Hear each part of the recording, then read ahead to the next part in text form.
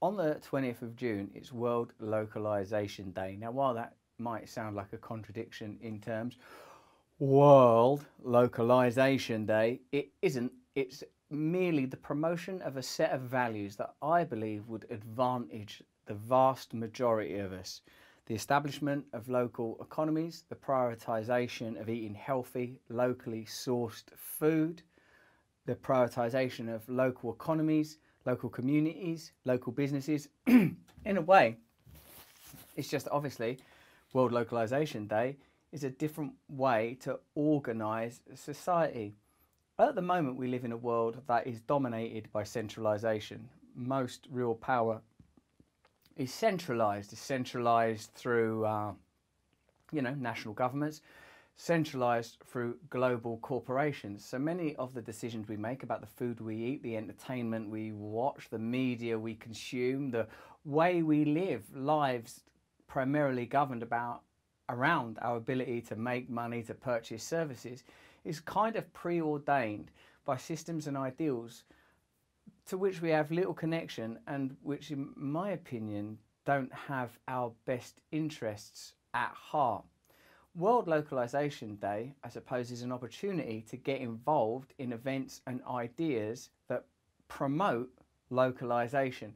I really wanted to do like a local market near where I live, like locally sourced food from local farmers, put on local entertainment, encourage like community and assemblies locally about how the community ought be run, could be run, should be run find ways of making sure more voices communally are heard, that the community isn't sort of somehow hijacked by the interests of centralised transnational interests.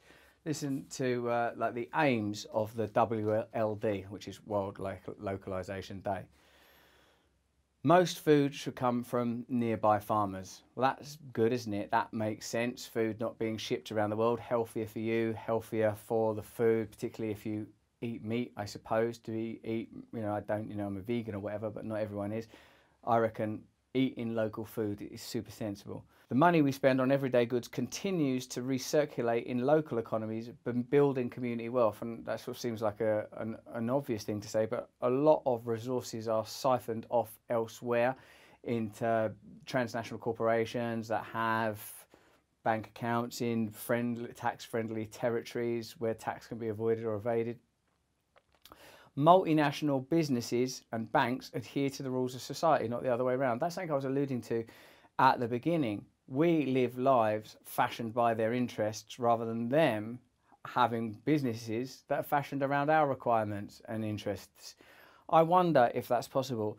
I wonder if real localization can happen in tandem with globalization and continued expanse of the interest of transnational corporations, or if this is something that has to be directly addressed and regulated.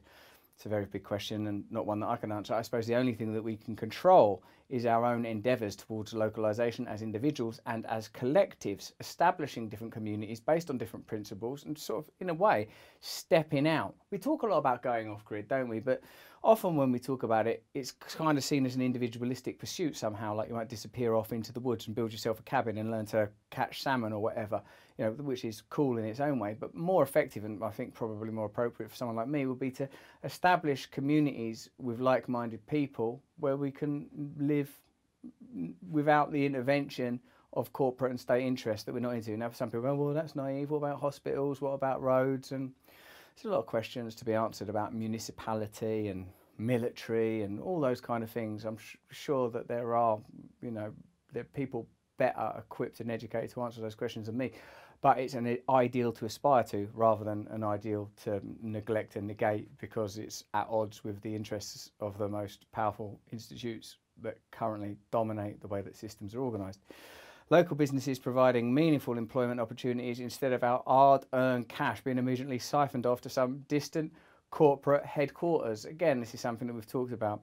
So localization is about bringing the economy back home to human scale. Yeah, because we can't comprehend what's going on with massive multinationals, tech giants. It's beyond our comprehension. And I think a lot of the division and conflict is a result of us having to live in a kind of turbulent miasma of competing ideas when really we're evolved to live in communities with one or two objectives that are shared by the members of that community. Let's feed ourselves, protect ourselves, look after one another. That's enough for like 150 people to deal with, not having to tackle all sorts of esoteric, abstract ideals and compare them to other people's. It's, what's the bloody point? So there you go. That's what World Localization Day is about have a look at their website, see how you can participate. I'm going to be looking to be setting up events, opportunities, and debates around localization as I believe that it might be the political idea that saves us from our current intransigence and stasis. Communities that are responsible for their own sustenance and governance, free from the intervention of state and government. This is an optimistic worldview, of course, because it assumes that communities are capable of regulating themselves and their members democratically, freely, and openly. A more cynical view is no, no, no, if you don't have the state sort of threatening you, hovering over you, then criminals and renegades will run amok. Well, seems to me there's a good degree of that happening anyway, and sometimes at the highest level of government.